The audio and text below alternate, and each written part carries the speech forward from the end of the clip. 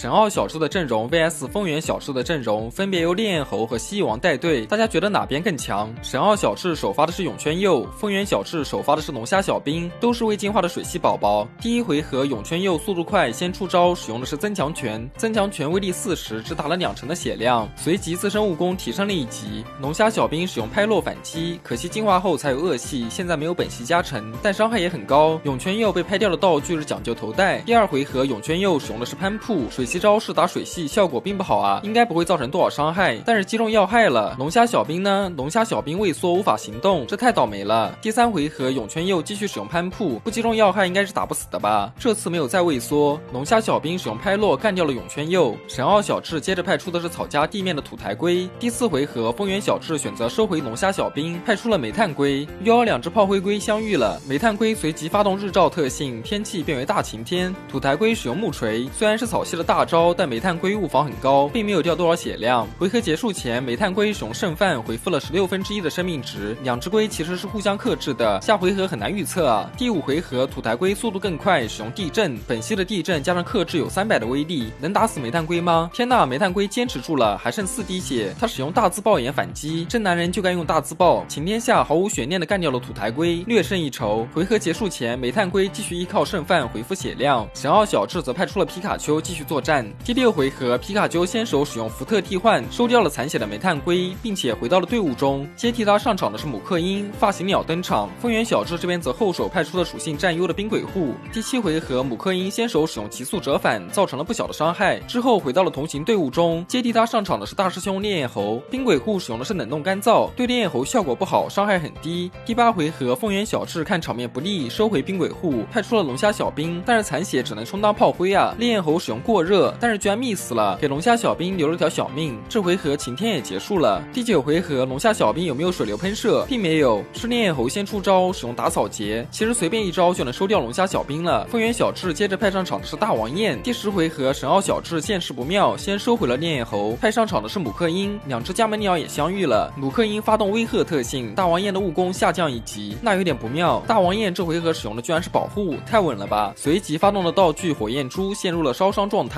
这是为了触发他的毅力特性。第十一回合，大王焰速度快，先出招使用硬撑，但是被威吓一次后伤害不够啊，姆克鹰只被打成黄血。他使用舍身冲撞反击，不愧是自杀鸟，秒杀大王焰的同时，自己也因为反作用伤害丢掉了性命。回合结束前，我方派出蜥蜴王，对方派出的是天蝎王，天蝎王的属性占优。第十三回合，蜥蜴王先手使用招牌招式夜刃，天蝎王的物防很高，稳稳的吃下，随后使用拍落打了约一半的血量，拍掉的道具是文佑果。回合结束前，天蝎王发动道具剧毒珠，陷入了剧毒状态。第十四回合，蜥蜴王继续使用夜刃，这样打打不动天蝎王啊！哦，这次伤害很高，击中要害了，有希望啊！天蝎王则使用羽七回复二分之一的血量，那希望又破灭了。回合结束前，天蝎王因为毒疗又回复了八分之一的血量，这就很绝望了呀！第十五回合，风原小智感到了蜥蜴王不是对手，收了回去，派出了冰鬼护。天蝎王这边则使用拍落，拍掉冰鬼护的道具是气势披带。随后天蝎王又因为毒疗回复了八分之一的血量，这几乎回满了。但是他四倍弱兵还有希望。第十六回合，神奥小智直接收回天蝎王，非常的鸡贼，派出了大师兄烈焰猴。冰鬼户这边使用的是水之波动，那是赌到了你会换人，但是水之波动威力太低了，没能打死烈焰猴。第十七回合，风原小智没有进行换人，那烈焰猴的速度更快，先手一发近身战干掉了冰鬼户，随后自身的物防和特防下降一级。那风原小智还有谁能对付天蝎王啊？他这边接着派上场的是蜥蜴王。第十八回合，神奥小智收回了烈焰猴，派出的是天蝎王来应对，但是蜥蜴王这次没有强攻，而是使用剑舞，那很赚呀！剑舞完物攻直接提升两级，这回对拼有悬念了。天蝎王也因为毒疗回到了满血状态。第十九回合，蜥蜴王直接使用夜刃，这次物攻翻倍后伤害也翻倍，打了一大半的血量。天蝎王使用的是地震，地面系打草系效果不好啊！蜥蜴王扛住了这发攻击。回合结束前，天蝎王回复了八分之一的血量，但也接不住下一发夜刃了。第二十回合，蜥蜴王使用夜刃，干净利落的收拾掉天蝎王，甚至击中要害了。神奥小智接着派上场的是皮卡丘。第二十一回合，先出招的是蜥蜴王，使用夜刃，没想到皮神直接被秒了，那他真是毫无作用啊！神奥小智派出了最后一只残血的烈焰猴，他能创造奇迹吗？第二十二回合，先出招的居然是烈焰猴，他使用近战，不是为什么蜥蜴王的速度会比烈焰猴慢啊？难道是戴了讲究围巾？近战干掉了残血的蜥蜴王。风原小智最后派出的是皮卡丘。第二十三回合，还是烈焰猴先出招，使用的是地震。我的天，道具还不是讲究围巾，那就是蜥蜴王没有极限速度了，地震直接秒杀了皮神，还是给他翻盘了。